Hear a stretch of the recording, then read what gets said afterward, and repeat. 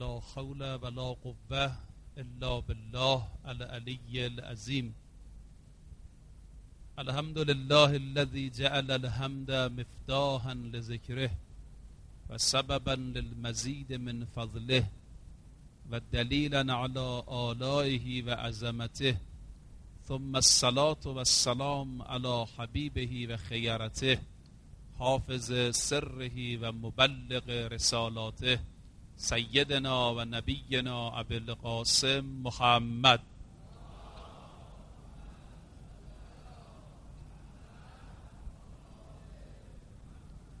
وعلى آله الطيبين الطاهرين المنتجبين سيما بقية الله في الأرزين قال الله تبارك وتعالى انما يريد الله ليذهب عنكم الرجس اهل البيت و یطهرکم تطهیرا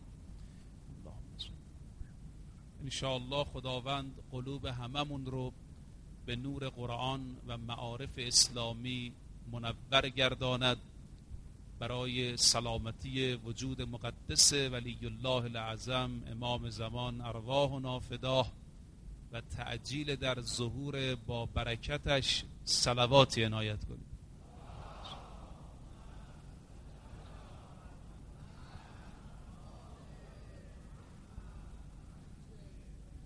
بحث ما دیروز در رابطه با مزاحمت و مردم آزاری بود. من روایاتی رو خواندم که چقدر زحمت ایجاد کردن برای مردم آزار دادن مردم اذیت کردن مردم مذمت شده. تا آنجایی که در روایت داریم اگر کسی بنده مؤمنی رو آزار بده گویا اعلام جنگ با خدا کرده اعلام مبارزه با خدا کرده. از سوره احزاب آیات مربوط به اذیت پیامبر اذیت مؤمنین و مؤمنات رو براتون خواندم. مثال هایی هم زدم که اذیت کردن چجوره چند قسمه. امروز بحث من تحت عنوان اهل بیت آزاری است. چه کارها و چه رفتارهایی اهل بیت و آزار میده؟ چه در واقع مسائل و چه برخوردهایی از ما موجب اذیت اون شخصیت های بزرگوار میشه؟ طبیعتا این بحث خیلی مهمه. اهل بیت و آزردن هیچ که تو ذهنش نیست هیچ که تو قصدش نیست. اما گاهی حرکت ما موضعگیری ما برخورد ما موجب آزار و اذیت اهل بیت می شود اهل بیتی که در قرآن کریم اونها ازشون پاکیزه نام شد نام یاد شده. انما یرید الله لیذهب عنکم الرجس اهل البیت. خدا میفرماید ما اراده کردیم اهل بیت پاکیزه باشند معصوم باشند هیچ رجس و پلیدی در زندگیشون نباشه. اهل بیتی که پیامبر گرامی اسلام میفرمود من فقط محبت اونها رو از شما می‌خوام. قل لا اسألكم علیه اجرا الا المودت فی القربا این دوستی هم میفرمود به نفع خودتونه. ما سألتکم من اجر اگر من از شما اجری به عنوان محبت اهل بیتم خواستم فهو لکم به نفع شماست. محبت و دوستی است که سودش خودتون می‌برید. این آیات رو وقتی کنار هم می‌ذاریم ما سألتکم من اجر فهو لکم ان اجری الا علی الله. در واقع پیامبر از ما مز نخواسته. پیامبر یک نفع و سودی رو به خود ما رسونده با این محبت. اهل بیتی که قوام عالم هستی پشتوانه عالم هستی به اونهاست. حالا اگر کسی خدای ناکرده اهل بیت رو آزار بده. بحث من بحث کفار نیست. بحث منافقین نیست که اهل بیت رو آزار می‌داده اونا که روشنه تو زیارت جامعه که آخر مفاتی آمده نه جامعه کبیره جامعه ائمه مؤمنین. در اونجا می‌کنیم با با او به خمسکم الخمور انقدر شما را آزار دادن با پول خمس شما حاکما شراب میخریدن می‌خورد. حق شما رو قصد می‌کردن و باش خمر میخریدن. در اون زیارت می‌خوانیم شما همه به شهادت رسیدید. یا با شمشیر یا با سم یا بدنتون تیرباران. در اون زیارت می‌خوانیم اصحاب شما مثل امار سلمان آزار دیدن. خود این زیارت جامعه ائمه کسی نگاه کنه آخر مفاتی یک دوره در واقع رنجنامه اهل بیت. من بحثم روی این آزارا نیست. نه آزاری که هارون رشید به موسی بن جعفر می‌داد نه آزاری که بفرمایید که متوکل به ائمه می‌داد. بحث من رو مؤمنات رو متدینات رو آدمای خوبه. رو کسانی که اهل بیت رو دوست دارن. اگه بهش بگید تو اهل بیت رو آزار میدی اشکش جاری میشه. میگه من همچین قصدی ندارم. اما عزیزان گاهی بعضی از کارها نتیجهش سمرش آزاره. شما چه بخوایی چه نخوای. من نمی‌خوام این چیزهایی که امروز میشمارم بگم غیر از این که خودش گناه اهل بیت آزار دادنش هم گناه دومه. نه. مثلا کسی که غیبت می‌کنه غیبت گناهه اما دیگه به عنوان دوم آزار دادن اهل بیتش نمی‌خوام بگم گناهه. ولی موجب می‌شود محبت اهل بیت عنایت اهل بیت توجه اهل بیت از زندگیش خارج بشه.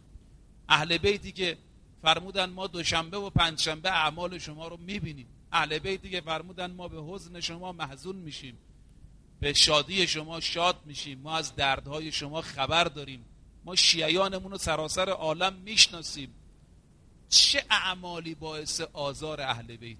من چهار پنج تا از اینا رو براتون امروز بشمارم. خوب دقت کنید. ببینیم خدای نکرده نادانسته اهل بیت رو نیازاریم. نادانسته اهل بیت رو اذیت نکنیم. خودشون فرمودن اینا آزار ماست اینا اذیت ماست. اینا چیه؟ یک تحقیر مردم و تحقیر مؤمنان. یکی از جاهایی که اهل بیت آزرده میشن اونجایی است که به یه مؤمنی تحقیر بشه. کوچیک بشه سخاوت براش و پستی برای مؤمن یک کسی بخواد. جریان های متعددی توی تاریخ داریم. اون شخص میگه آمدم خدمت آقا امام صادق. به من فرمودن چرا ما رو آزار میدی؟ چرا ما رو خار میشمری؟ خیلی ناراحت شد. گفتم یبن رسول الله من همچین قصد ندارم. من عاشق شما پیرو شما چه آزاری چه اذیتی؟ فرمود در جحفه یک کسی جلو تو گرفت سوار مرکبش کنی. توجه نکردی از کنارش عبور کردی. و خاری از کنارش رد شدی. تو نمیدانی من استخف به مؤمنن استخف بنا هر که مؤمنی رو خار بشماره ما رو خار شمرد. اونجایی که این تو جحفه رد می‌شد چنین قصدی نداشت. چنین هدفی نداشت. با این نگاه به اون مؤمن نگاه نکرد. اما امام صادق میفرماید تو ما رو خار شمردی با این حرکت. ببینید تحقیر مؤمن کوچک کردن مؤمن. حالا فرق نمی‌کنه والدین انسان باشن همسر انسان باشه دوست انسان باشه. عکسش هم هست. شخصی آمد خدمت امام صادق با پسرش. پدر اسمش ابراهیم پسر اسمش اسماعیل. شروع کرد با امام صادق صحبت کردن بعد عرض کرد یبن رسول الله این پسرم اسماعیل. منو خیلی احترام می‌کنه خیلی تحویل می‌گیره خیلی تکریم می‌کنه. احترام والدینش رو خوب نگه میداره. امام صادق فرمود من اسماعیل رو دوست داشتم اما حالا که گفتی به تو احترام می‌کنه ارادتم و دوستیم بهش بیشتر شد. از این به بعد بیشتر دوستش دارم بیشتر بهش علاقه دارم. ببین تکریم یک پدر توسط یک فرزند باعث شادی امام رو فراهم عکسش هم هست. اون شخص اومد مادرش دعوا کرده بود. خدمت امام, سا... امام باقر یا امام صادق رسید. نزاع کرده بود با مادرش. تندی کرده بود. تا وارد شد امام فرمود برگرد. از پیش ما برو. برو رضایت مادرتو جلب کن بعد بیا. چیزی هم نگفت. منتها ائمه اطلاع دارن از اعمالمون سریع قرآن و روایات ماست. پس ببینید گاهی عمل کرده ما تحقیر مؤمن ناراحت کردن والدین اینها موجب می شود رفتار ناپسند. اون شخص میگه خدا می‌داند امام صادق با یک کسی 20 سال رفیق بود. تو روایت دارد میگه 20 سال بود با یک کسی رفیق بود.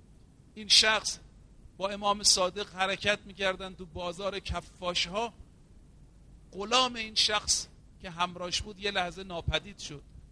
این صدای زد. یه مرتبه دو مرتبه سه مرتبه صدای زد. جواب نداد. غلامه نشنید.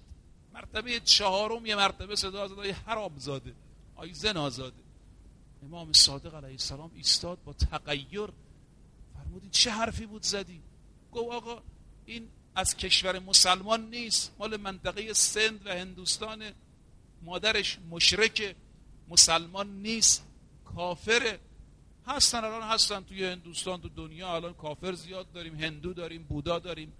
مذاهبی داریم که انسان میپرستن گاو میپرستن مذاهبی داریم بدتر از اینها حیوانات میپرستن. ولی میشه بهش گفت حرامزاده؟ چون کافره. بالاخره اون هم برای خودش ازدواج داره. کمونیست و ماتریالیسمی هم که هیچی قبول نداره.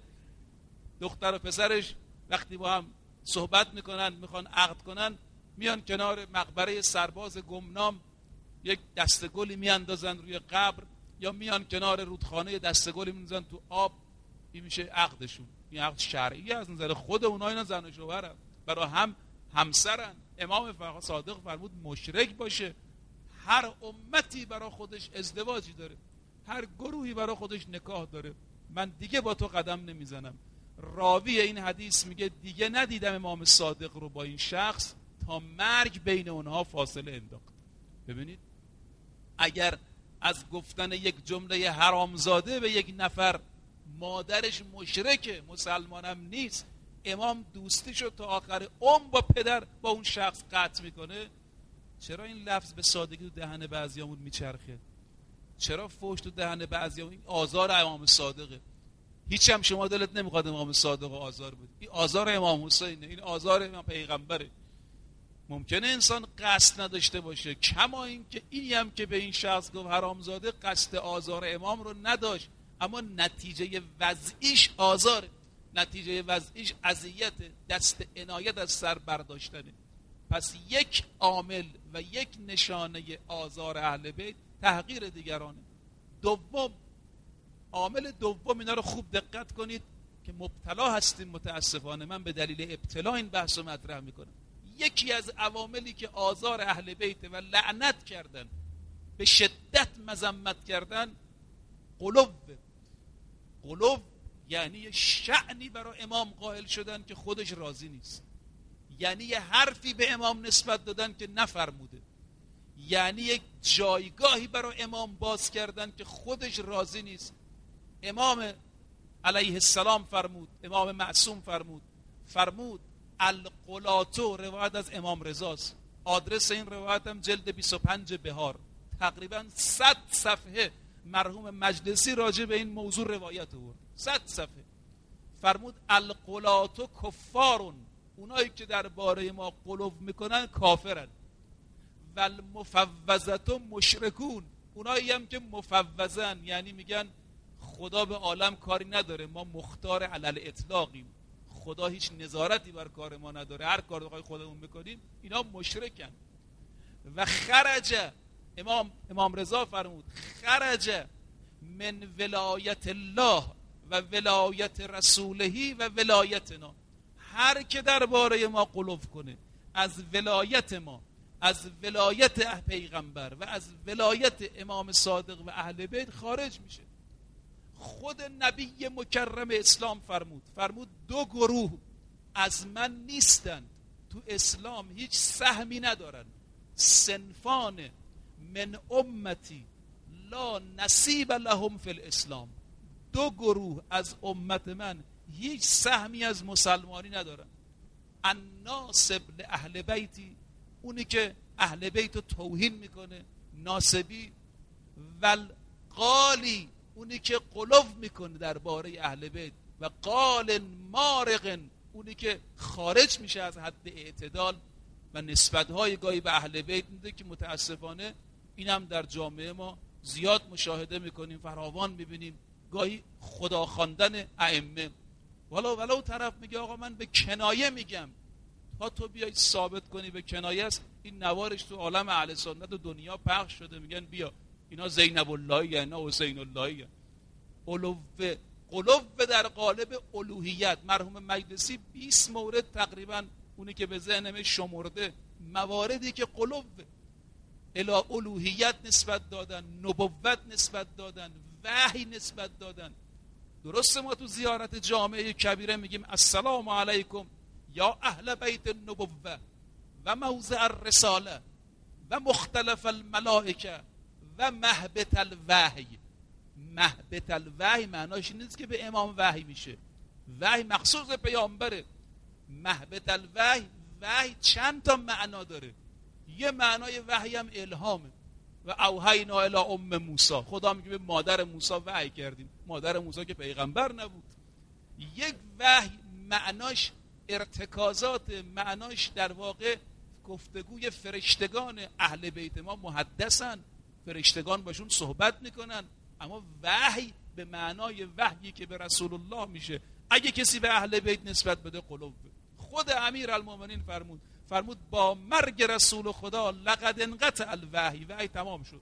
وحی دایرش بسته شد. اینا میشه قلوب. و لذا عنایت بفرمایید. خدمت ائمه بزرگوار گاهی می‌رسیدن. یه کسی اومد خدمت امام معصوم امام صادق علیه السلام عرض کرد یبن رسول الله. در منطقه ما بعضیا میان از قول شما حدیث می‌خونن. حدیثایی که ما رو مشمعز می‌کنه متنفر می‌کنه. ببین آقا حدیث باید مطابق قرآن باشه. حدیث باید مطابق کلام الهی باشه. خودشون فرمودن. آقا مطالبی به شما نسبت میدن که این مطالب ما رو ناراحت می‌کنه. من بعضی از اینا رو منبر شرمم میشه بگم. ولی تو ذهنم هست تو کتابا هم دیدم. ولی عرض نمی‌کنه میگن فلان مطلب فلان چیز به شما نسبت میدن. امام صادق فرمود لیس هازا من دیننا فاعتزله. اینا از ما نیستن از دین ما نیست این حرفا. ازش دوری کنید. گفتم آقا بعضیا اومدن پیش ما میگن نماز رکوع و سجده نیست. نماز روح ولایته تو ولایت امام صادق داشته باش نماز نمی‌خواد بخونی. بعضی از این دراویش متصوفه این حرفا رو می‌زنن. میگن آقا زکات پول دادن نیست زکات تزکیه بدنه. تمام من دیدم تو بعضی از این تفاسیر این حرفا رو بعضی از این تفاسیری که بوی تصوف میده. ان تذبحوا بقرتن گاو بنی اسرائیل رو خدا میگه سر ببرید. میگن یعنی نفسو گاوی به کار نبوده. این قصه های قرآن سمبولیکه. آدمی نبوده آدم بشری نبوده هوایی نبوده. بفرمایید که گاو بنی اسرائیلی نبوده. ان تذبحوا بقرتن یعنی نفس تو بکش. لا فارزون ولا بکر یعنی نه تو پیری نه توی کودکی در جوانی. کی آیات قرآن رو اینطور دست می‌بره توش؟ تمام حقیقت قرآن مرحوم علامه طباطبایی فرماید داستانهای قرآن حقیقت. داستانهای قرآن واقعیات خارجی است. کسی بیاد داستان رو تعویل کنه اهل بیت رو بد معرفی کنه نسبت های ناروا بده. و بنده دیدم شاید هم همینجا عرض کردم افرادی گاهی در شهادت تشهدشون اشهد ان علی ولی الله میگن. این حرامه. در تشهد ادخال کردن چیزی که جزء تشهد نیست. شما علاقه به اهل بیت جای خودش. اما نباید انسان در نماز در ارکان نماز مطالبی اضافه کنه که نبوده. فقهای ما تقریبا اکثرشون تقریبا همشون شهادت به ولایت امیر المؤمنین علی ابن ابی طالب علیه السلام رو در ازان هم جزء ازان نمی‌دانند. به عنوان شعار شیعه به عنوان سمبل شیعه به عنوان نماد شیعه به عنوان معرفی شیعه تبرکن میگن گفته بشه. ولی جزء ازان نمی‌دانن اغلب تقریبا قریب به اتفاق. و لذا این باید توجه بشه. قلوب به نسبت به اهل بیت. حتی من روایات دیدم ائمه ما بعضی از این قالیان رو حکم قتلشون رو صادر کردن. حکم قتلشون فارس ابن حاتم قزوینی یکی از این قالیا بود. امام علیه السلام یه شخصی به نام جنید رو اجیر کرد. فرمود برو او رو به قتل برسون. چون درباره ما قلوب کرده. سید و ساجدین علیه السلام فرمود مردم رو محبت زیاد به ما گاهی درباره ما قلوب می‌کنن. ما راضی نیستیم این از ما نیست. و لذا شما اهل بیت و بهترین راه شناختش زیارت نامه هاشونه زیارت جامعه کبیره شناسنامه اهل بیت. زیارت امین الله شناسنامه اهل بیته که همه همه اهل بیت هم میشه خواند. پس محور دومی که باعث نارضایتی اهل بیت میشه عزیزان قلوه تو اشعار باشه. من گاییدم بعضی از این شعرها قلوف توشه. توی مداهی باشه توی روزخانی باشه توی بفرمایید که فضایل اهل بیت باشه توی معرفی اهل بیت باشه. بعضی از اینا اگر تو ماه رمضان گفته شه روزه انسان باطله. باید حواس جمع باشد. قلوب از نظر اهل بیت مذمت شده. دو جا هم تو قرآن تاکید شده. یا اهل الکتاب لا تقلو فی دینکم. اهل کتاب مسیحی ها درباره دینتون قلوب نکنید. همین قلوب متاسفانه به مزامین اسلامی و دینی ما گاهی راه پیدا کرده که باید خیلی حواسمون جمع باشه روی این جهت. خب محور سومی که باعث آزار اهل بیت میشه. بحث ما امروز چی آقا؟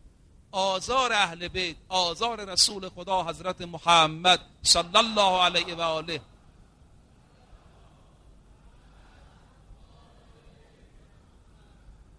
حرکت هایی که ممکنه آدم قصدش هم نداشته باشه اما نتیجهش اذیت. یک رفتارهای ناشایست. تحقیر مؤمنا. گفتم دو قلوب روزه دروغ نسبت دادن فضیلت بیخود تراشیدن. صفات الوهیت به پیام به ائمه نسبت دادن کلمات نادرست نسبت دادن. سوم تفرید. اینم دقت کنید. اون ورش هم ما گرفتاریم. کوتاهی کردن درباره اهل بیت هم باعث آزاره. بنده کتاب های این روزها دیدم ترجمه میشه تو بازار میاد. اجازه نشر پیدا می‌کنه متاسفانه. اجازه چاپ پیدا می‌کنه گاهی. که اینها اهل بیت در حد علمای عادی معرفی می‌کنن. علماء ابرار اتقیا تصریح بعضیاشونه. اهل بیت رو می‌خوان علم غیبشون رو منکرشن. می‌خوان ولایت تکوینیشون رو منکرشن. این فکر از وهابیت نشأت می‌گیره. این فکر از سلفی ها نشأت می‌گیره. قلوب در اهل بیت ممنوع اما اهل بیت اسمت و تهارت علم غیب دارن. از خدا بهشون واگذار شده. امیر المومنین در مسجد حادثه صاحب و زنج رو پیش بینی کرد. صاحب و زنج سال 250 تو عراق قیام کرد خیلی کشدار کرد خیلی قحطی رو انداخت. امیر المومنین دویست و تقریبا ده سال قبل از حادثه صاحب و زنج تو مسجد کوفه این حادثه رو پیش بینی کرد. تو نهج البلاغه است حادثه حمله مغول رو پیش بینی کرد به کشور آی اسلامی. یه وقتی یه کسی از پای منبر بلند شد گفت یا امیر المومنین شما غیب می‌دانید. الان اینجا ایستادید دارید یه حادثه چند ده سال دیگر رو پیش بینی می‌کنید. فرمود نه ما غیب نمی‌دانیم. تعلم من زی غیب. اونی که غیب میدانه به ما یاد داده. علم غیب ما استقلالی نیست. اونی که میدانه به ما آموخته. لذا تفرید و کوتاهی درباره اهل بیت هم آزار است. یه داستانی خدمتتون ارز کنم از یکی از همین آدمایی که کوتاهی کرد. علی ابن ابی حمزه بطائنی. علی ابن ابی حمزه بطائنی از یاران امام کازم اومد مدینه مریض شد. افتاد به بستر. کتب رجال نوشتن رو به مرگ رفت رو به احتضار رفت. یکی از رفقاش میگه من بلند شدم برم براش قبر و کفن فراهم کنم. دیگه مطمئن شدم با درد شدیدی که در ناحیه شکم و سینه داشت و از حال می‌رفت این دیگه از بستر بر نمیخیزد. اما همینطور که کنارش نشسته بودیم و اظهار جزع می‌کردیم یه وقت در زدن یه کسی آمد از طرف موسی بن جعفر علیه السلام یه ظرف آب آورد ظرف آب معمولی. تبرک همین است دیگه. عنایت همینه. فرمود اینو بدید به علی ابن ابی حمزه بخوره. آب همانو آتشی آبی بود روی آتش. درد رو خوابان. علی ابن ابی حمزه از جا برخواست خدمت امام کاظم رفت. مورد اعتماد امام کاظم بود. امام مالهاشو بهش واگذار کرد. چهار سالی که امام زندان بود. اون زندان آخری امام کاظم چهار سال طول کشید. تمام رتق و فتق امور مالی با علی ابن ابی حمزه بطائنی بود. اما موسی ابن جعفر علیه السلام که به شهادت رسید امامت امام رضا رو نپذیر و واقفی شد. گفت ما هفت تا امام بیشتر نداریم به خاطر مال دنیا. این میشه تفرید این میشه کوتاهی. که امام معصوم فرمود علی ابن حمزه و, و اصحابه اشباه الحمیر. چقدر قشنگ فرمود. فرمود علی ابن حمزه و رفقاش مانند حمیرن مانند الاغن. قرآن میفرماید کمثل الحمار یحمل اسفارا. عالمی که علمشو عمل نکنه مثل چارپایی است که روش کتاب بذاری. شما رو چارپا کتاب بذار. کتاب علمی باشه پزشکی باشه فقهی باشه اصولی باشه. این که خبر نداره از موضوعش. اطلاع نداره. فقط حمل می‌کنه. عالم بی عمل رو قرآن به چارپایی تشبیه کرده که کتاب می‌بره. امام معصوم به علی ابن حمزه فرمود انت و اصحابک اشباه الحمیر شما مثلتون مثل همون چارپایی است که قرآن در سوره جمعه فرموده است. اینم تفرید و کوتاهی. سومین محوری که باعث آزار اهل بیت می شود چهارم که اینو بیشتر گوش بدید و بحثمو با این چهارمی جمع کنم عزیزان مبتلا بهمونم هست آزار اهل بیت در قالب زیارتهای نادرست. آقا زیارت اهل بیت مستحب اما گاهی در اثر رعایت نکردن آداب زیارت انسان باعث حرمت و باعث ناراحتی اهل بیت فراهم می‌کنه. فراوان هم دیدید شما. بنده امسال در مکه مکرمه جلوی حجر الاسود زن و مرد محرم و نامحرم قاطی هم. یه خانمی آمد گفت فلانی می‌خوام برم جلو. گفتم استلام حجر مستحبه اما لاعقل به ده تا مرد نامحرم باید مالیده بشی. به ده تا نامحرم باید برخورد کنی. اون حرامه. انجام یک مستحب. به قیمت انجام یک حرام جایز نیست. خود علی ابن موسی رضا فرمود فرمود بیاید دور از حجر اگه شلوغ بود بیستید. با اشاره دست اشاره کنید بخوانید زیارت رو بخوانید دعاش رو. خب این مسئله توی زیارت ها هم میاد. این مسئله توی برنامه ها هم میاد. بذارید من یه روایتی براتون بخوانم. این روایت خیلی قشنگه. و دلم می‌خواست چند جلسه روش صحبت می‌کردم ولی به اختصار می‌خوانم. شخصی به نام محمد ابن مسلم اومد خدمت آقا امام باقر علیه السلام. خیلی روایت عجیبی است. آدرس شما عرض می‌کنم جلد 98 بهار صفحه 142 عرض کرد یبن رسول الله ما وقتی میریم زیارت جد شما امام حسین زیارت پدر شما امام سجاد زیارت ائمه وقتی میریم البته خب اون زمان قبور بیشتر از این نبوده. قبر امیرالمومنین که مخفی بوده. بیشتر زیارت کربلا معمول بوده. زیارت نجف اون زمان هنوز مطرح نبوده چون نجف مخفی بود تا زمان امام صادق علیه السلام. یبن رسول الله ما میایم زیارت جدتون حسین. بنده تو عرض کنم میایم زیارت ائمه امام رضا امام صادق امام باقر. آیا آدابی هم داره؟ یا نه یه سفر دیگه مثل همه سفرهایی که میریم. امام باقر فرمود نه سفر زیارت پدران ما سفر زیارت ما اهل بیت آداب داره. یبن رسول الله ماذا؟ این آداب چیه؟ عجب روایتیه قال امام صادق فرمود قا امام باقر قال ابو جعفر علیه السلام یک یلزمک یلزمک حسن الصحابه لمن یسحبک. اونایی که همراهتن باشون مهربان باشی. این اولین آدابش. کسی که بغل تو ماشین نشسته کسی که با صندلی کنار همیه کسی که با هم تو هواپیمایید کسی که با هم همراهید کسی که با هم ثبت نام کردید تو کاروان فرمود حسن مصاحبت با اون کسی که همراشی دو یلزم که قلت الکلام الا به خیر در سفر زیارتی ما اهل بیت سخن رو باید کم کنید مگر حرف خیر باشه حرف نیکی باشه. سوم یلزم که کسرت و ذکر الله. تو سفر زیارتی ما ذکر خدا زیاد بگید. ذکر خدا رو به زبان جاری کنید. چهارم یلزم و که نظافت و سیاب لباستون پاکیزه باشه.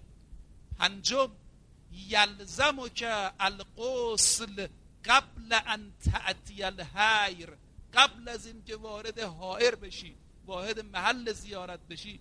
قسل زیارت انجام بدی و در قسل زیارت هم میگیم میگیم اللهم تهر قلبی. خدا می‌خوام برم زیارت امام رضا قلبمو پاک کن. می‌خوام برم زیارت امام حسین قلبمو پاک کن. یلزم که بعدیش الخشوع و کسرت و صلاح تو زیارت ما خشوعتون زیاد باشه نمازتون زیادتر بشه. من اینو امسال در آستان قدس گفتم خیلی جای دیگه هم گفتم اینجا عرض می‌کنم. چرا باید موقع نماز جماعت دور حرم های ما جمعیت باشه؟ چرا باید دور زری امام رضا دور زری حضرت معصوم جمعیت باشه؟ کعبه با اون عظمت با نماز جماعت تعطیل میشه توافش قطع میشه. امامی که میفرماید کنار حرم ما نمازتون زیاد بشه خشوعتون زیاد بشه. و سلات علی محمد و آل محمد.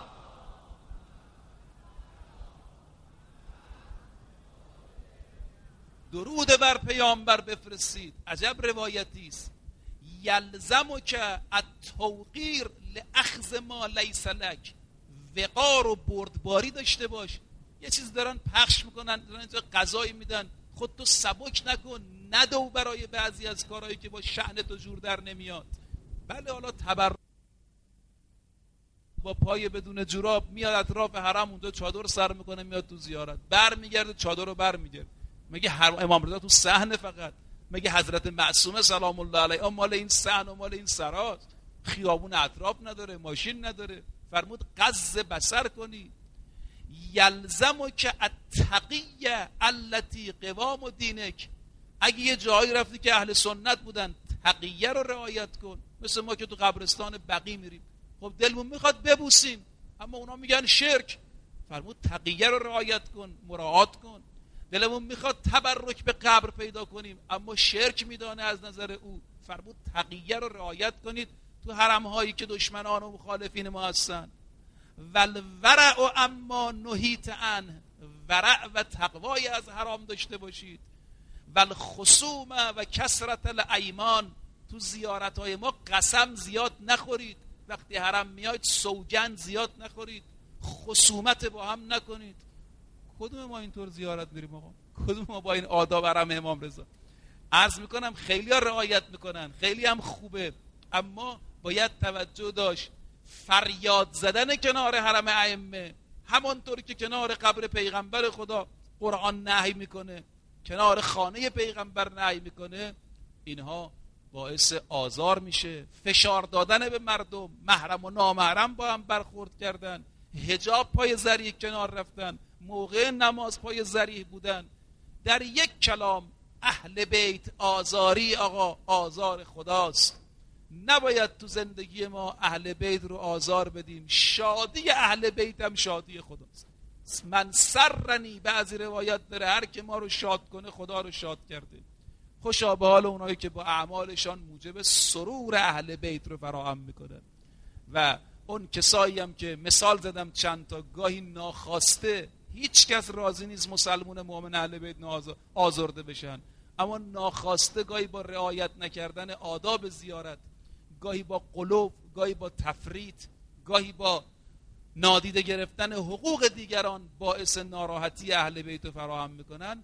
باید توجه داشته باشیم که اهل بیت بر اعمال ما نظارت دارن. امام جواد فرمود این عرض آخر من فرمود معاشر شیعه خاصمو به صورت انا انزلنا. شیعه ها برای دشمنان ما وقتی می‌خواید بحث کنید سوره انا انزلنا رو زیاد بخوانید. گفتن چرا؟ شاید به این مضمون فرموده باشن سوره انا انزلنا سوره است که بحث امامت توش مطرحه. تنزل الملائکت و روح ملائکه کجا فرود میان؟ شب قدر. ملائکه تو خانه های ما میان. ملائکه در بیوت ما نازل میشن.